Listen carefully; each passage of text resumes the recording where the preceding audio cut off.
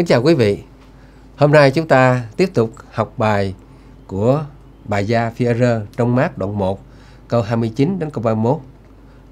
Tôi xin đọc lại. Vừa ở nhà hội ra, Chúa và môn đồ đi với gia cơ cùng dân vào nhà Simon và Andre. Vả bà gia Simon đương nằm trên giường, đau rét. Tức thì chúng thưa với Ngài về chuyện người. Ngài bèn lại gần, cầm tay người đỡ dậy, bệnh rét dứt đi và người bắt tay hầu hạ. Cảm ơn Chúa. Ở đây chúng ta học cái công việc làm của bà Gia đó là sau khi bà được Chúa chữa lành bệnh thì bà bắt tay hầu hạ. Ở đây chúng ta thấy lời Kinh Thánh ghi cho chúng ta cái chữ rất là quan trọng, đó là bắt tay hầu hạ, chứ không phải là chỉ làm việc mà thôi. Nhưng mà hầu hạ, bày tỏ sự khiêm nhường, sự hạ mình. Bà là người mới hết bệnh, nhưng mà chúng ta thấy rằng tại sao bà lại chịu hầu hạ như vậy? Tại vì bà biết ơn của chúa. Bà cảm thấy sức lực mới trong bà. Niềm vui và hạnh phúc tràn đầy trong đời sống của bà. Bà không còn kể mình là một người mẹ vợ của Führer và kể như lúc này thì bà kể như là người lớn hơn hết ở trong cái nhóm đang ở trong nhà của bà. Bởi vì cái nhóm đến nhà của bà là Chúa Giêsu và các môn đồ. Tất cả những người này đều trẻ tuổi, bà mới là cái người cao tuổi hơn hết và bà lại là mẹ vợ thì bà là người đáng được tôn kính hơn hết. Hơn nữa, bà là cái người mà mới hết bệnh. Và thường thường người mới hết bệnh thì người ta cần phải nghỉ dưỡng bệnh. Nhưng mà đàn này thì chúng ta thấy khác. Đó là bà mới hết bệnh. Nhưng mà niềm vui của sự lành mạnh và sức sống mới của Chúa trong cái việc Chúa chữa bệnh cho bà thì nó rất là lạ lùng trong cuộc đời của bà, khiến bà tràn ngập cái niềm vui và rất là hăng hái để muốn phục vụ để bày tỏ tấm lòng biết ơn của bà đối với Chúa. Vì vậy, cho nên xin Chúa cho chúng ta để mặc được sức lực mới khi Chúa chữa lành bệnh tâm linh của chúng ta. Mỗi chúng ta đều có đầy dẫy những cái bệnh trong cuộc sống tâm linh của chúng ta. Và điều đó làm cho chúng ta trùng bước, làm chúng ta mệt mỏi. và càng bệnh nặng chừng nào thì chúng ta càng mệt mỏi chừng đó.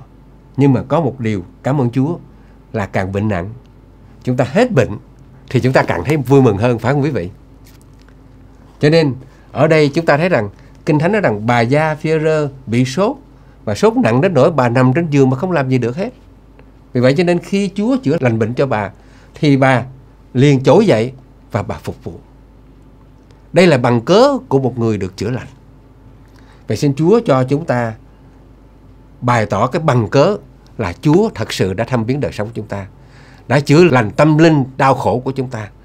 Có những vấn đề gì trong cuộc sống làm chúng ta đau khổ, có những sự va chạm nào trong cuộc sống làm cho chúng ta bức rứt, có những điều gì oan ức đã đổ trên cuộc đời của chúng ta, có những thở than nào chúng ta không nói ra được, nhưng mà nhờ chúng ta đến với Chúa chúng ta nhờ anh em chúng ta cùng với chúng ta cầu nguyện dâng điều đó cho Chúa.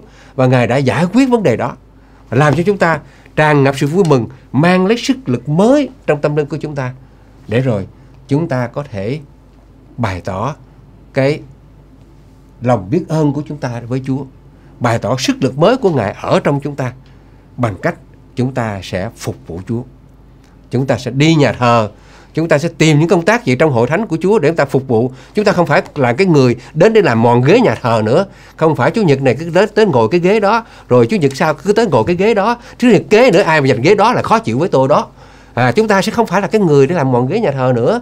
Rồi nhà thờ mà cái ghế mòn rồi phải thay ghế khác tốt tốn kém. Nhưng mà chúng ta sẽ là người phục vụ, chúng ta sẽ là người xây dựng, chúng ta sẽ là người sẵn sàng niềm nở. Tiếp đón mọi người. Bây giờ chúng ta có sức lực mới của Chúa rồi. Chúng ta không phải là cái người để mà chiếm hữu một cái gì đó ở trong nhà thờ. Nhưng mà bây giờ chúng ta trở thành cái người phục vụ. Người có sức sống mới của Chúa là người sẽ là người sẵn sàng phục vụ.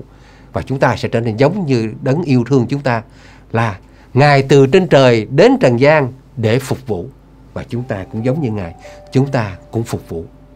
Và nguồn sức lực để chúng ta phục vụ là sức mới mà Chúa ban cho chúng ta. Sự chữa lành mà Ngài đã ban cho chúng ta. Niềm vui và hạnh phúc mà Ngài đã ban cho chúng ta. Quý vị đang là người phục vụ hay không?